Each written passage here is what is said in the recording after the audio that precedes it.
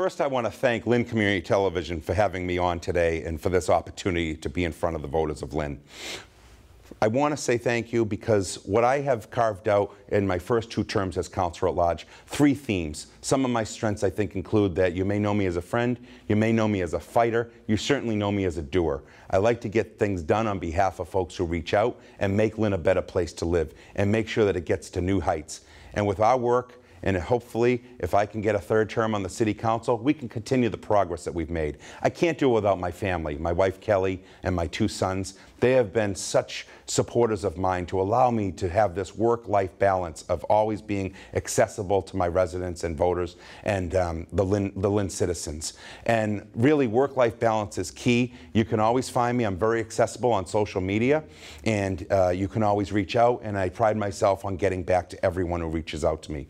Our council this year is very strong this past couple of years that we've worked together. Under Council, council President Cyr's leadership, we get along. We work well together. We work well with the mayor.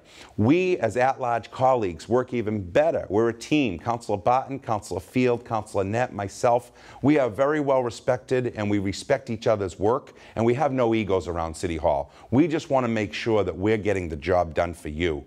Some of the accomplishments that I, I was able to do along with my council colleagues, first off, with Council Starbird's help as he chairs the Public Property Committee, we put over a million dollars back on the Lynn tax rolls, an incredible accomplishment.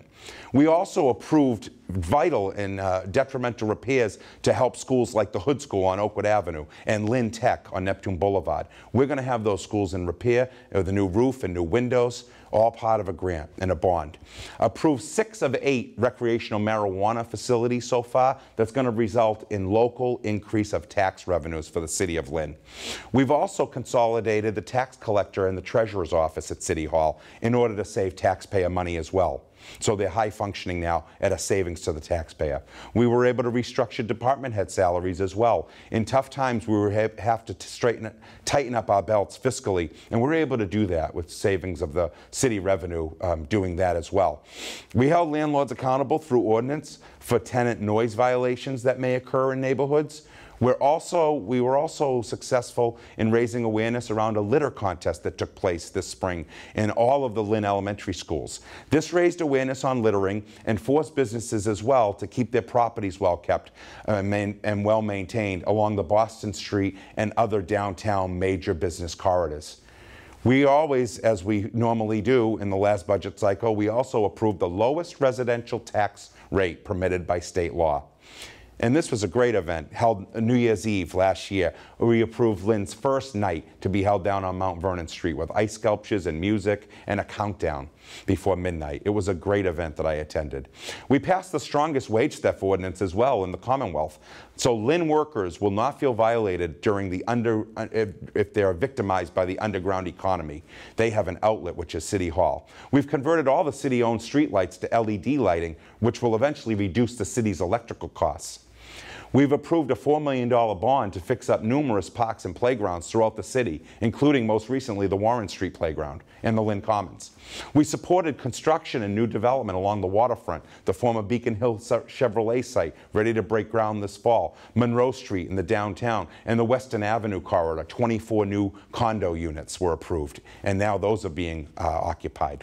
We hired through favorable grants more public safety personnel, like police and firefighters, in their rank and file, as well as DPW workers.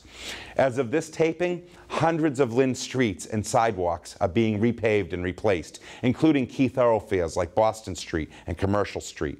We reached a fair agreement this spring with city workers to maintain quality health insurance plans for active and retirees that preserved Harvard Pilgrim as our insurer and not the state's GIC plan that resulted also in city savings.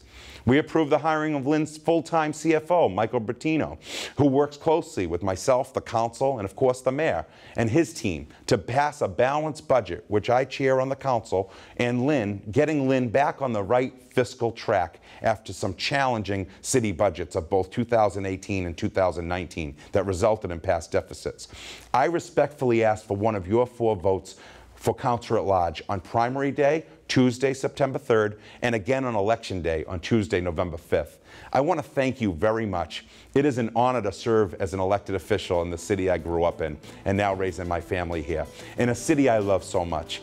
Thank you, and I look forward to seeing you on the campaign trail this fall.